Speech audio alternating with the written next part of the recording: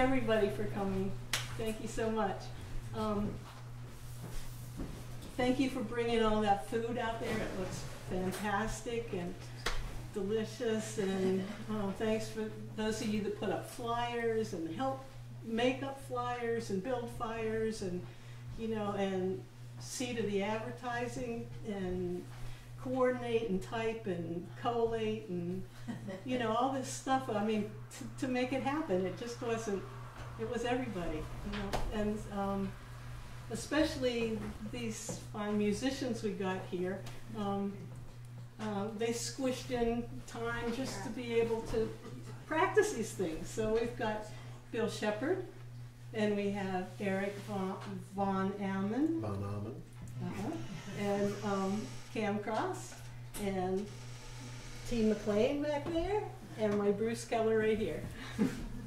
um, and so I just wanted to say quickly that um, the songs are unabashedly Christian, and so if you're from a different spiritual path or don't um, have one in particular, thanks for your open-mindedness in coming. If anybody's in that boat, that you know field, but um, these are all songs that were popular um, during the life of this chapel and um, heard on front porches and places like this and church halls and on the radio in the early years of the 1900s um, and up through a little farther.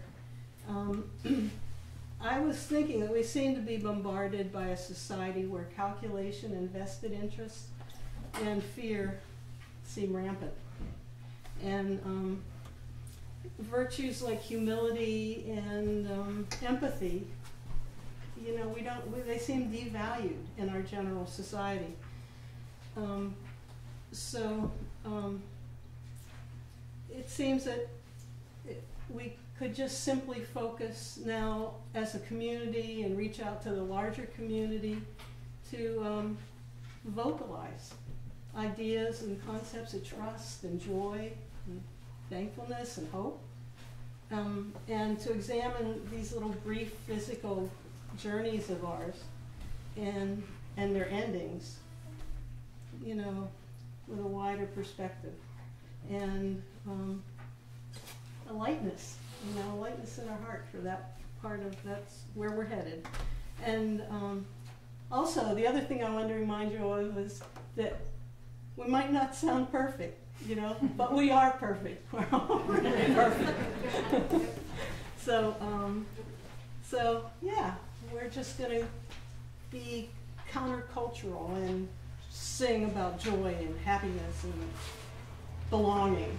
So the first song is um, uh, "I Belong to the Band," and it, union is mentioned in it. it. It's it's derived from the Latin "unus," uh, or, or more expansively, unus mundus. And I looked this up. It's the concept of an underlying unit, unified reality from which everything emerges and to which everything returns. So this Latin definition, I think, is closest to uh, what Reverend Gary Davis intended in I Belong to the Band. He composed it in 1930s. Um, and he sang it as part of these raw bone, growling, talking blues street sermons that he gave. Um, he was born in, in 1896, um, blind in poverty, to a mother who treated him poorly. He was of African American or African des descent, African American, in the Jim Crow South. So worldly belonging couldn't have uh, much been hinted to in his world at the time. But yet he belong he, you know, recognized this greater belonging. We're all part of it. So it was covered by Bob Dylan and Grateful Dead and Doc Watson and all kinds of people, you know, his songs. So that's all I have to say about that. so I'm going to remind you, so the choruses are in dark bold, and um, this being sort of a black Baptist him, it's more, it's a little looser, so you don't have to worry about how long you hold, like the, the ooh and hallelujah. It's very kind of loose feeling. Um, and yeah, every time it says chorus, it's not always two times two. Sometimes it's one time through, except for the beginning and the end.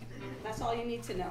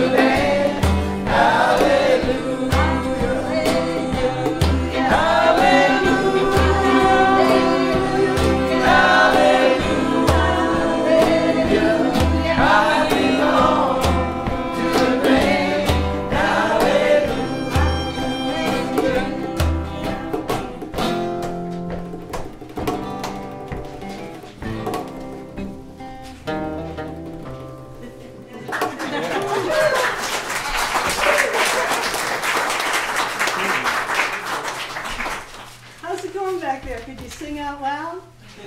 It sounded good. You should drown out the band. Yeah, I agree. I, I, Um, the, uh, I just couldn't help but, um, stick in a quick synopsis of, um, this shooting star-like life of this guy that wrote this when, when they ring those golden bells. His name was Daniel de Marbelle, and, um, he was born in Spain in eighteen nineteen. He arrived here aboard whaling ship. He served as a drum major in the Mexican-American War, Then he toured as a musician and an actor with an opera company. He organized his own theatrical troupe. At the invitation of Bailey of Barnum and Bailey fame, he became the very first circus clown. He helped Buffalo Bill Cody set up his Wild West show. He was a re- ventriloquist. He could play almost any instrument. He organized a brass band. He called square dances. And near the end of his life, he wrote this song in 1887, sang it in the Methodist church choir in the small Illinois town where he was living, and he died there penniless. so anyway, since these um, chapel sings, um, oh yeah, and I wanted to tell you too that it was, you know, for all that, for being so long ago, it's been covered by Loretta Lynn, Dolly Parton, Patsy Cline, Chet Atkins, Hank Williams, you know, endless gospel quartets, quartets it goes on and on. And us. Yeah. And us, we're covering it. Yeah, yeah. T's gonna sing it for you. So we're gonna start with the chorus, so we can all hear what it's supposed to sound like, and then from there, so it's um. Right, Yeah, I gotta get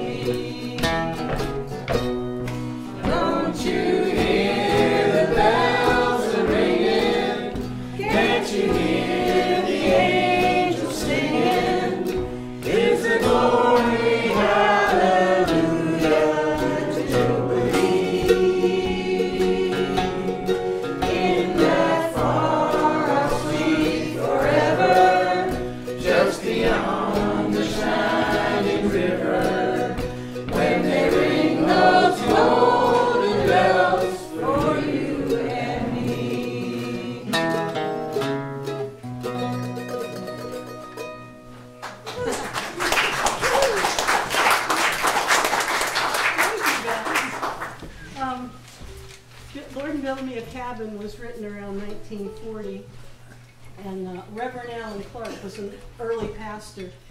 uh, here, and he recounted that back in 1915, there was a self-proclaimed atheist um, named Lee Bean who lived near near near here somewhere, and uh, he declared he wasn't having a religious edifice built to disturb his peace, and he also said that he was again anything that might be called good. and so then, uh, then he sabotaging the, the work site here. You know, when the folks would come to start working again, never knew what they'd find, and finally made off with all the nails. so it was uh, reportedly a very funny story how the women in the neighborhood um, um, Salted him. no, I gave him a drubbing. That's, that's what, that's what Reverend Clark called it. And, um, got their nails back. And a promise not to obstruct the chapel building any longer. Um, there were further jokes that resulted from all that, and, um, the whole thing is too long to really recount here, but, um, suffice it to say that the community kept their good humor, and, um, because by 19 in the 1930s, um, Lee Bean was joining in in the social gatherings here in the chapel, and um, they held funeral service was held here for him. His service was here, and they buried him out there in the cemetery next door. And um, I just kept thinking if if if only Hank Williams could have sung this song a couple years earlier, um, then then the whole community could have had one more laugh. You know, they could have been grinning and tucking extra nails in Lee's coffin, so so that to make sure there'd be enough, you know, nails for his cabin that where they hopefully might be right next to Hank's. So so that's that's that's how this song relates to the chapel. Lord, build me a cabin in glory land. Okay, so I, I think we'll start with the uh, chorus, and then we'll just go right into the first verse. And uh,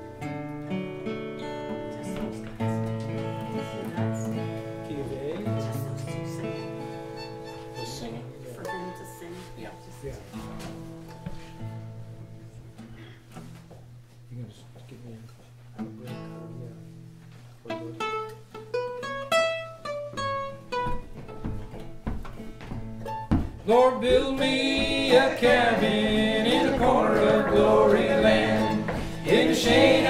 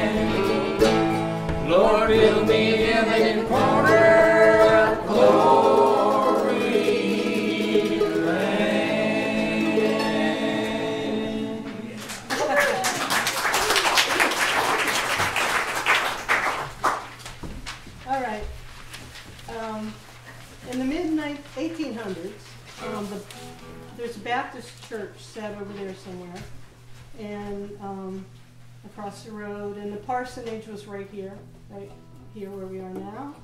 And a Methodist church sat up in front of the schoolhouse in the front yard.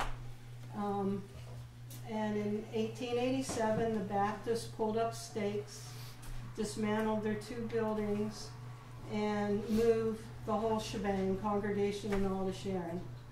That church is now the uh, Seven Star Center in Sharon. Um, and the Methodist church was abandoned not much, not, not long after, and the church and Parsonage burned down about 1906. But the idea of this chap- chapel filled the vacuum, and its constitution was filed with the Vermont Secretary of State, specifically declaring itself as non-denominational. And um, it was a move toward inclusiveness back then. And so we just couldn't help adding, including this denomination blues, which was written by Washington Phillips. And in, if you've been here before, another sings, we have Washington Phillips almost every time. He's that old East Texas farmer, musician, preacher um, that composed songs and recorded them on that weird instrument he made of something like two zithers and played it like this. Um, sounded really etheric. It was a really cool thing. But anyway, um, this song is based on his experience, his own experience, because he curiously was checking out all the different churches around him down there in Texas back then. And he was decided to gently mock all their various denominations. Um, so we've taken the liberty to really cut down on the song. It was really long, and um, and um, changed it just a little bit. So, uh, Okay. So uh, this song, I wouldn't even try to sing on the verse. the uh, the chorus is basically an answer to the verse. So sing on all the bold parts, and we'll do the others. Stumble on Yeah. the words. They're Yeah, hard to each, spit each out. verse ends with that bold part. Yeah, it's like the second half of the verse is what it sounds like.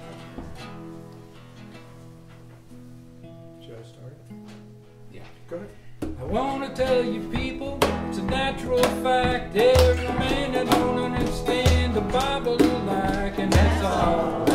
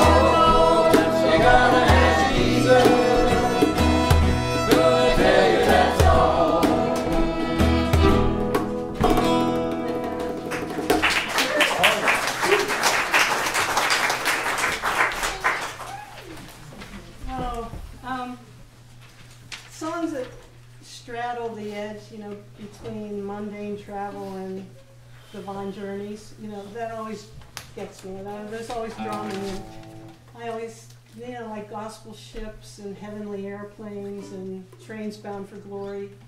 Uh, so, um, and since we all live near White River, you know, I, we couldn't help but include this song, which is really an American conglomeration of a song. It was, um, it's very closely based on a Civil War era poem by William Shakespeare Hays, but the copyrighted song's lyrics are, cre- are credited to a Baptist preacher named M.E. Abbey, and it's music uh, to Charles Tillman, even though the tune is strikingly similar to a Welsh hymn.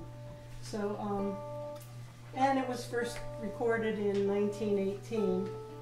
And since then, it's been recorded by the likes of Patsy Cline and Willie Nelson, Johnny Cash, Jerry Lee Lewis, Linda Ronstadt, us, and uh, probably probably about every bluegrass band that's ever been formed. This is Tony Rice's version. Yeah. Once again, we're going to just run through the chorus first, and then we'll start at the top. Yes. But Blessed Savior,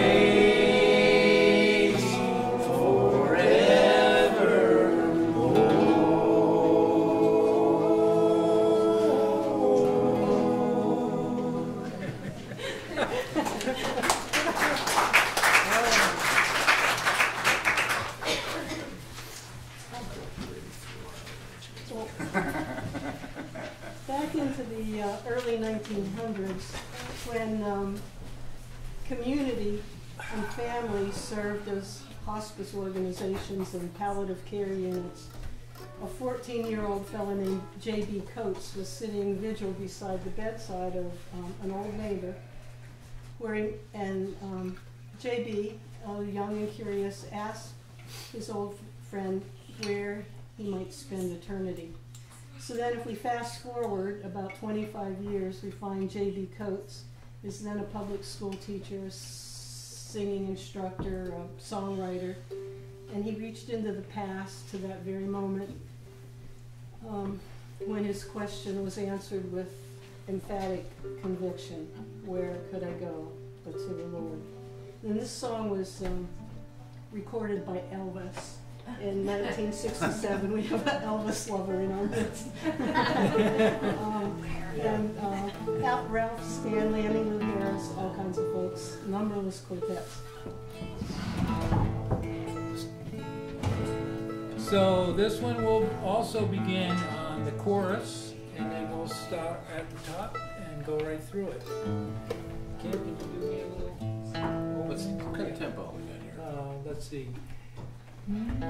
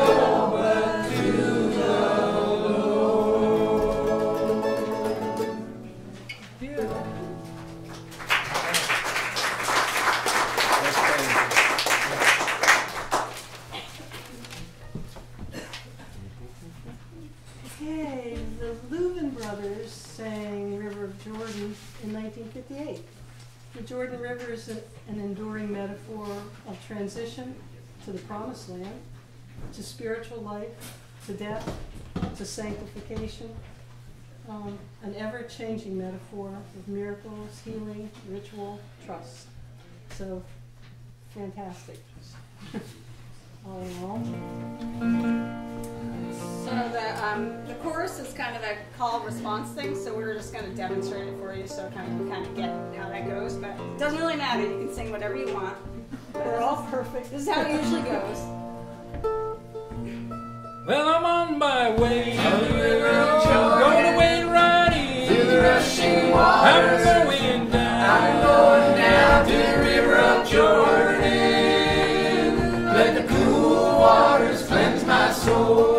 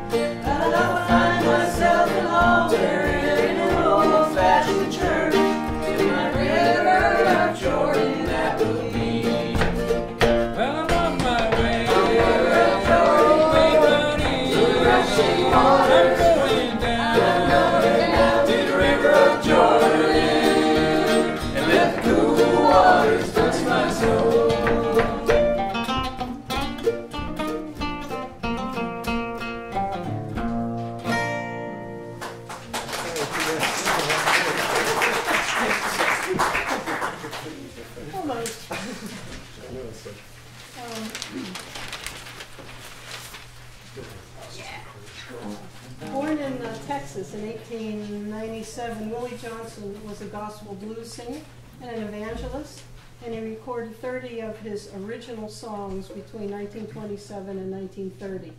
Nobody's Fault But Mine was one of those.